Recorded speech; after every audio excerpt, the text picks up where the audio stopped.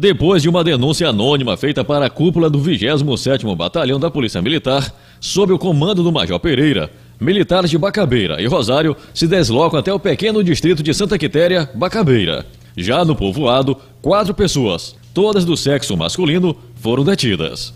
Qual a acusação que pesa contra você? Nenhuma, praticamente. Eu ia trabalhar, eu estava com um rapaz que ele ia pegar o carro de mão, e eu ia para o meu terreno, roçar o terreno, quando eles fizeram a abordagem que a gente estava detido por causa de denúncia, disso, aquilo, outro, e eu não sei de qual é a denúncia, eu não estou, eu não tenho nada, eu não tenho nada a falar, não. Nunca, nunca foi preso? Não, nunca fui preso, não. Não esboçou nenhuma reação, veio de boa? Não, não, botei a mão na cabeça e vim tranquilo. O que aconteceu para que o senhor viesse é seguinte, ser eu- detido? Senhor, é o seguinte, porque eu vim lá, eu vim pedir o carro de mão dele, ele foi lá em casa, aí né, eu pedi o carro de mão. Ele disse, não, vai pegar para você botar o Maria lá, para me botar o Maria que estava lá no meio da estrada. pra me botar Quem que foi pra- pedir? Eu fui pedir para ele aí. Ah, você foi pedir para Pra ele, pra ele tava aqui. é, certo.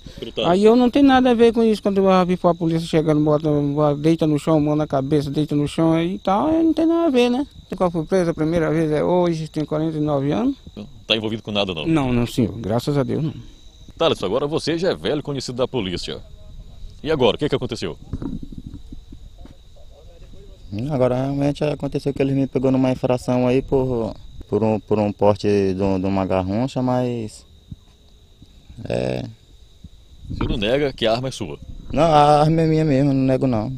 E a droga que estava enterrada pertence a quem? Não sei, a droga não tem nada a ver, não sei de droga não, senhor.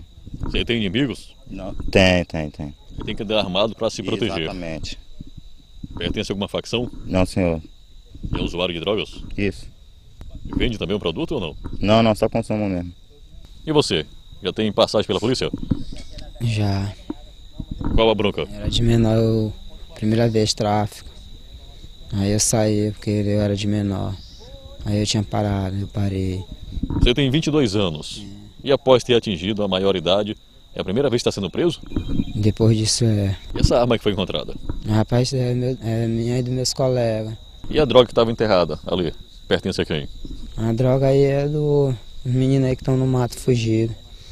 Eram quantos? Não era só dois, era três comigo. Como é que vai ficar a situação agora? Agora eu não sei. As informações que foi passada para a gente, inclusive pelo Major que está acompanhando aqui a entrevista. O Major lá, Giovanni, está acompanhando aqui a entrevista. Passou para a gente que eles fazem parte de uma quadrilha, né? roubos, quadrilha. assaltos a motocicletas, a pedestres aqui na região. O povo aqui em Santa Quitéria que não gosta muito da gente aí fica falando, entendeu? Para o Major Pereira, os indícios não deixam dúvidas que os suspeitos pertencem a um grupo que age na região. Alguns integrantes são, inclusive, de alta periculosidade. Na verdade, é uma associa- associação criminosa, certo, que agia aqui na região. né? Nós recebemos várias denúncias an- anteriormente a respeito desses fatos e agora nós recebemos uma denúncia que eles acaba, tinham acabado de tentar matar uma- um indivíduo.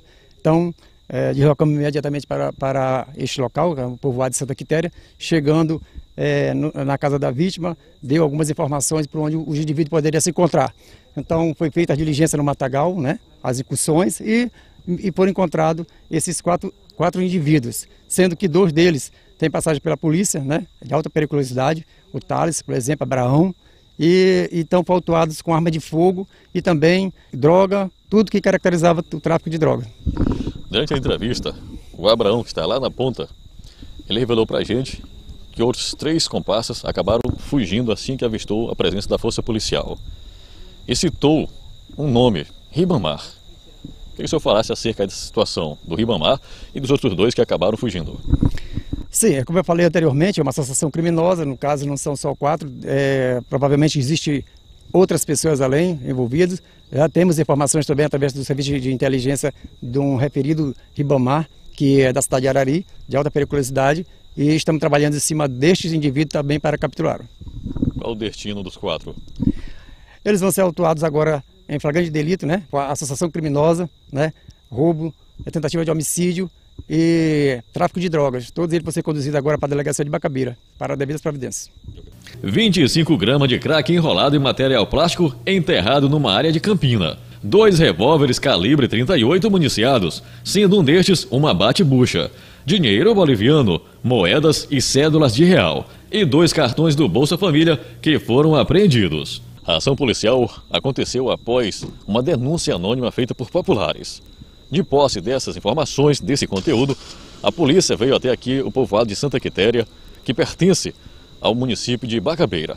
Neste local que nós estamos, bem aqui, exatamente onde estou colocando minha mão, que tem um buraco nesse momento, a polícia encontrou 25 gramas de crack. E claro que o produto entorpecente foi apreendido e os elementos foram presos. No total, de quatro, já que outros três acabaram fugindo pelo matagal.